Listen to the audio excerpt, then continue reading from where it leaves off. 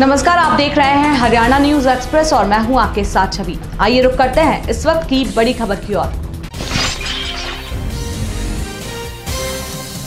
हरियाणा के पूर्व deputy CM Chandramohan ने कहा कि पर्यावरण को शुद्ध बनाने के लिए पौधारोपण करना बहुत ही बड़ा पुण्य का कार्य है, क्योंकि पौधारोपण के बाद जो पेड़ बनते हैं, उनसे सभी जीव जंतु पशु पक्षी और मानव जाति का भला होता है।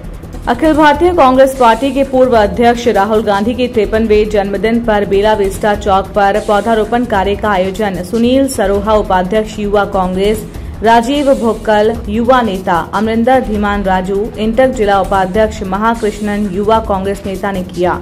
पूर्व डिप्टी सीएम चंद्रमोहन ने कहा कि राहुल गांधी इस अंधेरे समय में एक प्रकाश स्तंभ हैं, जो एक विकसित, सुरक्षित और शांतिप्रिय भारत का सपना देखते हैं।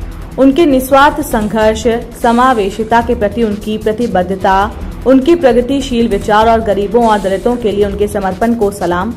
हमारे समय के दूरदर्शी राहुल गांधी जी को जन्मदिन की बधाई। पूर्व डिप्टी सीएम चंद्रमोहन ने कहा कि गांधी परिवार के त्याग और बलिदान को कौन नहीं जानता है। नेहरू गांधी परिवार में पंडित मोतीलाल नेहरू से लेकर इंदिरा गांधी और राजीव गांधी तक ने त्याग और अगाध देश प्रेम की भावना का परिचय दिया है।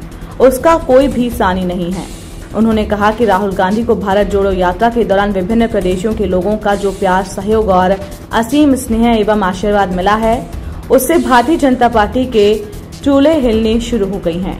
उन्होंने कहा कि सत्ता के अहंकार में भारतीय जनता पार्टी की सोच नकारात्मक हो गई है और यही कारण है कि भारतीय जनता पार्टी की विध्वंसकारी नीतियों से लोगों का मोह भंग होना शुरू हो गया है और अगले वर्ष होने वाले नौ राज्यों और 2024 में होने वाले लोकसभा चुनावों में कांग्रेस जनता को भारतीय जनता पार्टी का असली चेहरा दिखा देगी।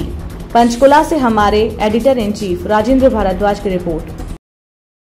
हमारे फेसबुक पेज को लाइक, फॉलो और शेयर करें। साथ ही यूट्यूब चैनल को लाइक करें, सब्सक्राइब करें और ताज़ा खबरों के लिए बेल आइकॉन को दबाना न भूलें।